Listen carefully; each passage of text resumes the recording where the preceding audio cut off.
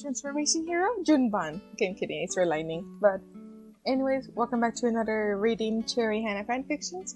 Also, I think I should probably say this the live video and this video is actually being filmed the day after before than it's usually recorded. this is a weird, weird concept for me. There, doesn't look like all straight. Oh well. I'm filming this on my laptop, so Okay, now we should just continue on with the story. Today we will be reading chapters 57 58. So let's get started. Chapter 57 Flashback 5 Toshi Shinzo's point of view. I was in the common room with the rest of the class. Someone turned on the news and I and and and saw there was a battle going on. Then I saw Dad, Miss Midnight, Midoriya, Uraraka, Su, and and Cherri. Hey, why are they there? says Zero. Then I see someone come up behind Cherri and stab her. She fell to the ground. To the floor, to the floor, to the ground, something. Cherri, I yelled while jumping up from my seat. Shinzo, don't try to run to her. We don't know which hospital she will be going and, and how safe the place is. I said, Senorita. Fine, I said, sitting back down. The next day, I couldn't get get out of my room. Room. I was just thinking about Cherri and Dad. Then my phone started to ring. It was Dad. Dad, are you alright? Is Cherri alright?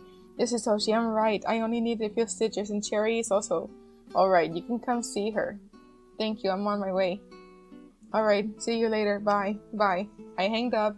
Got ready to to leave. Before I left, I told Iida that I would be going to, to the going that I have permission to go. I left and stopped by the store to get uh, things for Cherri and Dad. I was told that Cherri is in a room with Uraraka and Nisuyu, so I got them their stuff too.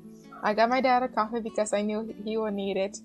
I got Cherri's flowers and some of her cherry flavored and some of her favorite cherry flavored candy. My dog is barking, so sorry. I got Uraraka. What on earth is Summer doing? Sorry, my dog again. I got Uraraka and Suyu, Suyu, mochi and jelly. Now I want some mochi. What are they barking at? I paid for the stuff and left. When I got to the hospital, I bumped into Dad in the waiting room. You're finally here, said Dad. Yeah, I am. I said while giving him the coffee. Thanks. You will need to talk to the front desk to get to Cherri's room, said Dad. Thanks, I'll see you later. I said while waving at him. I walked up to the front desk and checked in, for I can see, go see Cherri. My dogs.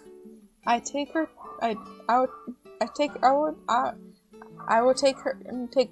Take you to her room. I uh, just messed up. Said a familiar voice. I looked next to me and saw Anita Hana, Cherri's mom. Oh, I forgot you work here. I said.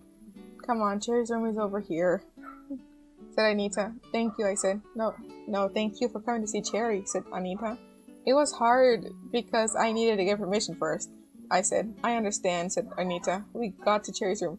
I already got to see her and I have to get back to work. Just knock on the door, said Anita. Thank you. Have a good day, I said. You too, said Anita while walking away. I knocked on the door. Come in, said a voice. I recognized that voice. It's Cherri's. I opened the door. Hey, I said. Hey, Cherri said with a Cherri said Cherri with a smile. I heard that you're sharing a room with your rock and Sue, so I brought some things for them. I said, I give give Uraraka and the mochi and Suyu the jelly. Thank you, said Uraraka and Sue at the same time. I give give Cherri, Cherri, Cherri the flowers and Cherry candy. Thanks, said Cherri. So this is the secret you couldn't tell me? I asked. Yes, I'm sorry, said Cherri. It's okay, I said.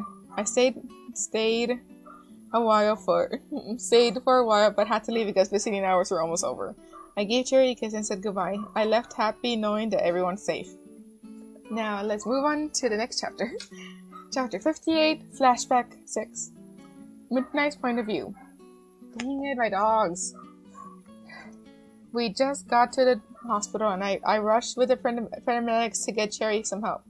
Then I hear someone saying, Wait, is wait, that's that's on my cherry. What happened? asked the lady. She looked like a nurse, and I saw her name tag. It, tag. it said Hana on it. Excuse me, by, are you by any chance Cherri's mother? I asked. Um, yes, I'm Anita Hana. Said, said Anita. I'm the pro hero of Midnight. I and also Cherri's uh, Cherri, one of Cherri's heroes. And I think we should go somewhere to talk. I said. We walked to the more quieted, quieter place. So what happened? asked Anita. We were on a rescue mission to rescue a little girl, and Cherri was hold, holding her. Then she, out of nowhere, she jumped out of Cherri's arms, and Cherri ran after her. And she told me to keep going because I was helping another student who was badly injured. But I, but because I didn't didn't follow her, she got stabbed trying to get the little girl back. I said, "She's just like her father," said said Anita. What do you mean by that? I asked. Cherri's father was a police officer and he would have done the same thing, said Anita. I know she will be a great hero, and with your support, she will be great, I said. Thank you. I should get back to work. I can fill you in about Cherri.